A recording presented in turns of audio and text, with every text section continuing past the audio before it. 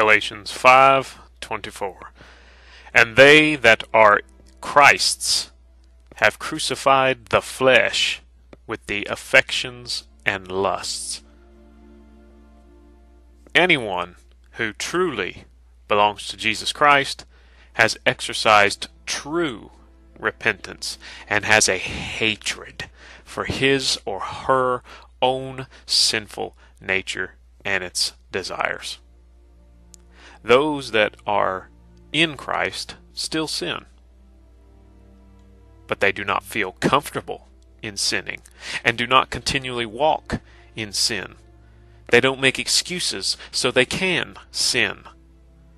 They are in the process of putting their old nature, their old ways, to death. And in principle, they've already done so. Don't be one of those Christians that doesn't put the work in, who says, Well, God made me this way. No.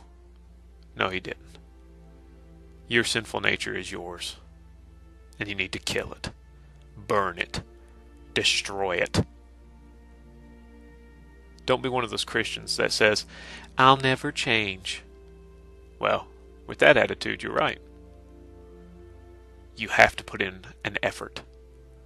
God is not just going to magically wash your sins away and you wake up one day and never, ever, ever feel like sinning ever again. That's not how it works. You have to fight.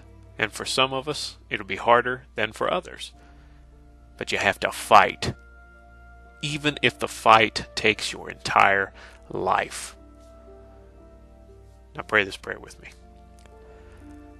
O Lord, show us where sin still lives in us help us to hate it and to crucify it.